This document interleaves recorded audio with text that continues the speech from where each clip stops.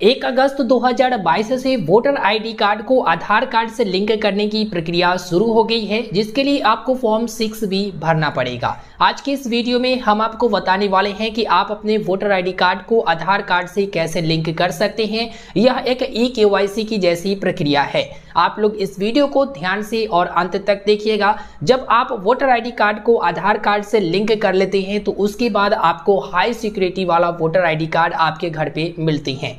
आइए इस वीडियो में ध्यान से देखते हैं। वोटर आईडी कार्ड को आधार कार्ड से लिंक करने के लिए प्ले स्टोर से वोटर हेल्पलाइन एप्लीकेशन आपको इंस्टॉल करना पड़ेगा। उसके बाद एप्लीकेशन ओपन करना पड़ेगा। उसके बाद आपको एक डिस्क्लेमर शो होगा तो आप यहाँ पर एग्री करेंगे। एग्री करने के बाद नेक्स्ट वाले बटन पर क्लिक करेंगे। उसके बाद अपने अकॉर्डिंग एक लैंग्वेज को यहाँ पर सिलेक्ट करके गेट स्टार्टेड पर क्लिक करेंगे।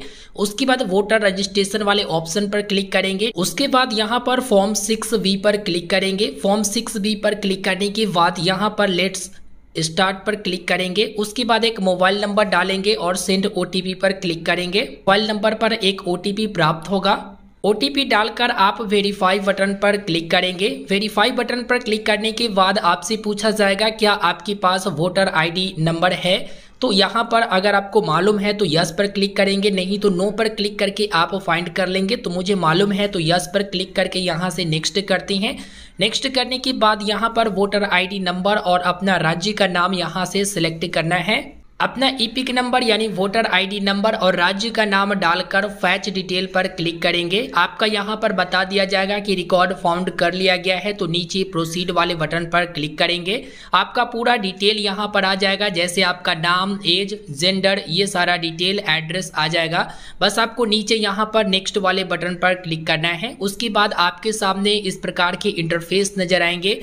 यहाँ पर आपको अपना आधार डिटेल एंटर करना होगा। यहाँ पर आप अपना आधार नंबर को दर्ज करेंगे। उसके बाद नीचे यहाँ पर आप अपना मोबाइल नंबर, ईमेल आईडी और यहाँ पर प्लेस ऑफ़ एप्लीकेशन तो आप अपने जगह का नाम, ईमेल आईडी और मोबाइल नंबर को डालेंगे।